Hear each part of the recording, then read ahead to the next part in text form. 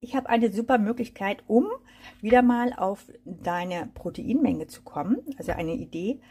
Und zwar mit körnigem Frischkäse. Das ist, das ist eine super Proteinquelle. Wenn man mal, wenn man mal hinten drauf schaut, das hat 0,5 Gramm Fett pro 100 Gramm, ja.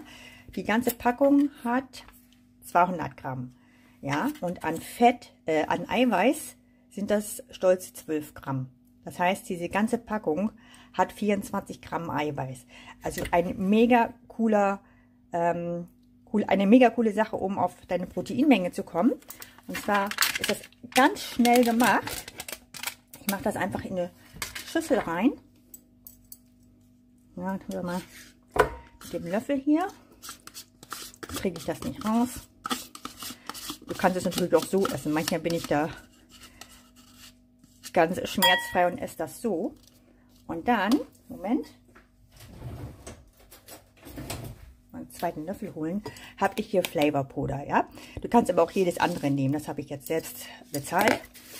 Also kriege ich kein Geld für. Das ist jetzt in dem Fall Salted Caramel.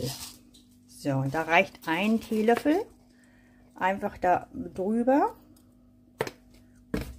Und dann wird das umgerührt.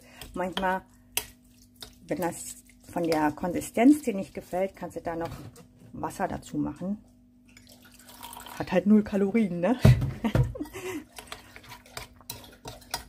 so. Ja, mein Hund muss jetzt unbedingt Wasser trinken.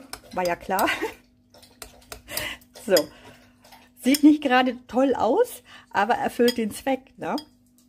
Also ein so, wie gesagt, eine so eine Portion hat 24 Gramm Proteine. Und es ist nicht immer leicht, auf die, also für mich zumindest, auf die gesamte Proteinmenge zu kommen. Ja, also ich bin schon mittlerweile bei 140, 140 Gramm pro Tag. Ja, also pro Mahlzeit muss ich schon mindestens auf meine 30 Gramm kommen. So, also rein damit.